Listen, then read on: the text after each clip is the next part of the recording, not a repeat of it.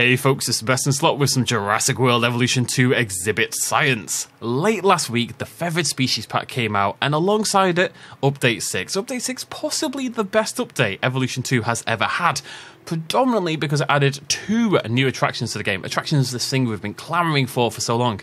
And it's not just attractions, they are much requested attractions. The log viewing gallery and the dome viewing gallery from Jurassic World and realistically from Jurassic Park Operation Genesis and they're both really cool. The dome viewing gallery in particular kind of feels like it fits anywhere. You know, they can go here, they can put them into your aviaries if you want to do that instead and get a really nice up close view with your pterosaurs. They'll even land on the dome viewing gallery. Clearly, some thought has gone into being able to place these in multiple locations, and they look fantastic. There is one small snag, however, and that is that the lagoons continue to feel kind of entirely neglected, if we're totally honest. Not only did they not get a creature for fairly obvious reasons, but they still don't have any real. They've only got a single attraction you know, there's no tour that goes through. You can have an aviary tour, you can have a normal tour. You can't have like a submarine tour. That'd be really cool. You can't put the dome in the water. You can't put the log in the water. There's no tower that sits in the middle. There's no remote viewing gallery at all for the middle. There's just not really many ways to interact with your lagoon at all. You've got the viewing gallery, and actually, probably the best way to view the middle of your lagoon is to use the zip line and drape the line over the top of the lagoon. That was quite a nice added feature. It does feel like you're feeding your guests to the Mosasaurus, but that's neither here nor there. The point is, the lagoons once again felt a little neglected, and we'll talk about that a little bit more later on in the week or early next week whenever I decide to do that video. But um, thankfully, mods are here to save the day. So, update 6 is like the first update in Evolution 2's history that did not break modding. New species still work, all of Kaiodenic's mods seem to work, there's been some updates and stuff like that, but generally speaking, everything seems to work. Good job, buddy. And as per usual, I've installed my default suite of mods. There's only three that I highly recommend that everybody who wants to mod this game download. And it's really just tools that are going to make you able to be more creative. They're not adding things to the game per se, they're just opening up your possibilities beyond what the game allows.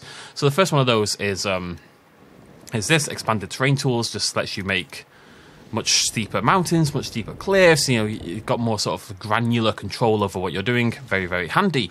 Uh, the I'll link all these down below, by the way. If you want to download any of these, I will link them all in the comment section. You will need ACSE as well, as well as KaiCore mods and stuff like that. Uh, the second one is free build, which does what it says. It just lets you build freely. If you want to stack decorations together, if you want to run fences over everything like an absolute madman, you know, you have that possibility. Again, just extra control, extra creative control more than anything else. The third, and most important for today's purposes, is Kaio's Wee Toolbox. Now, this has actually been updated. It does a ton of stuff now, an absolute ton of stuff. If we place a dome viewing gallery, though, and then we hit the N key, and you can see we've got this little uh, this little spanner here. We can hover over this. It's got this lovely highlight on it, so you can see what you're highlighting.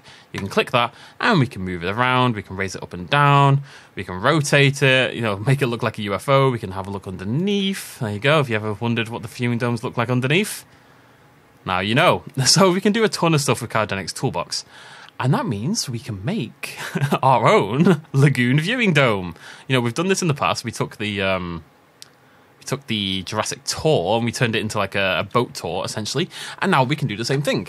But even if you don't want to mess around with the slightly more complicated toolbox, only slightly, it is simple, but slightly more complicated, you actually only need free build to do this.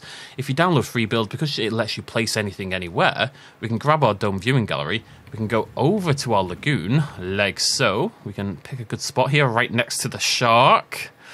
Right, let me make sure that's in spot. Boop. Connect our building. So this will function if you want your guests to be able to use this. And there we go. That is now a functioning viewing dome. So hopefully, okay, got the position entirely wrong. let me just uh, let me just rotate that. This is using the other tool. You'd have to, if you didn't want to use the toolbox, you'd have to just place it a few times so you got it right. But look at that view we get now, right up close with the shark. I think we need to see it happen. So I'm just going to toggle the UI and let the magic happen.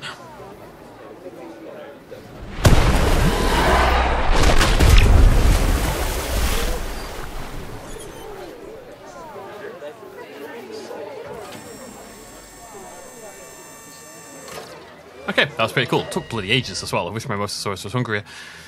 Two main problems, however. First of all, that doesn't work for the majority of your uh, lagoon creatures. Secondly, it is floating slightly, as you can see. It's ever so slightly floating. Maybe not a huge deal, but a slight problem. So, if you just want to use Freebuild, though, you want things nice and simple, you could definitely uh, just do it like this, and you've got your lagoon dome thing. But through the power of Kaiodenic's, uh, Wee Toolbox, we can do something else. So what we can do, we can click it, and we can hold B, and we can sink it down just a little bit, so it kind of sits nicely on the water, like that, like so. You know, it's not floating anymore.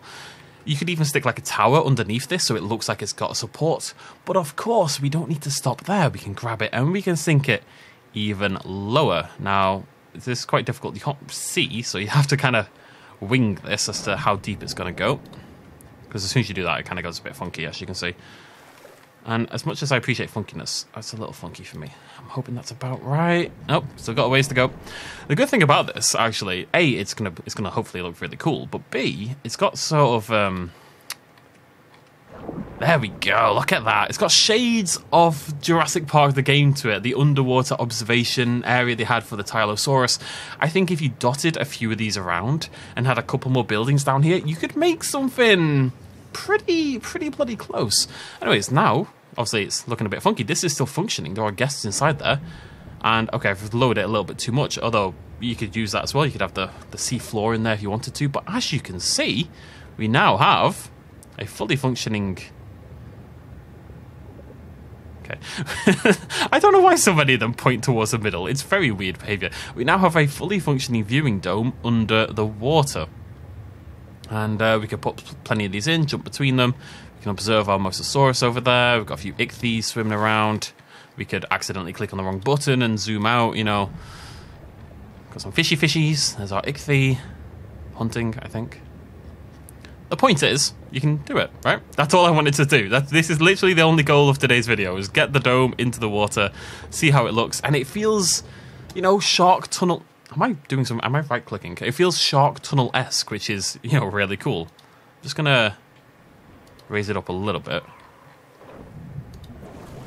There we go. We now have a floor again and everything. So, yeah, you don't need many mods to make this work. And if you download the two mods hell one mod you need to, you only need Kaiodenic's toolbox technically to make this happen along with like the requisite mods like ACSE um, you don't need much to do this and it just opens up all these creative options for those of you who don't mind playing with mods. Of course that doesn't mean we don't need lagoon attractions.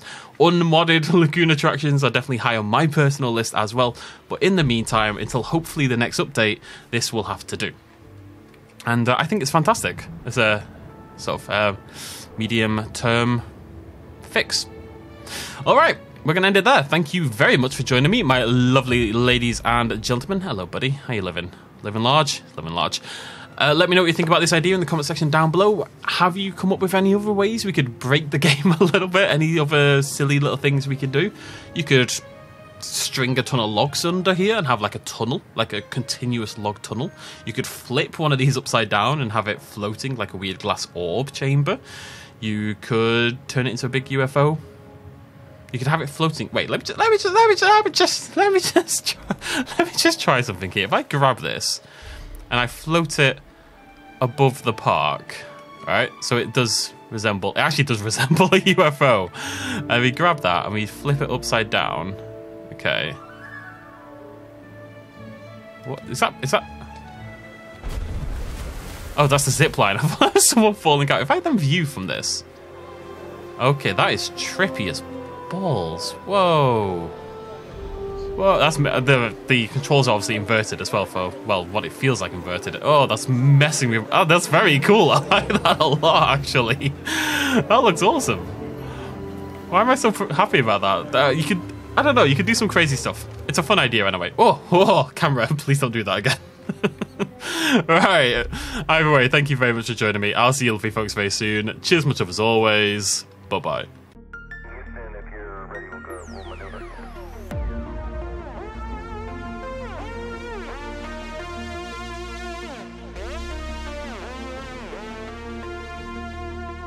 Reaching out.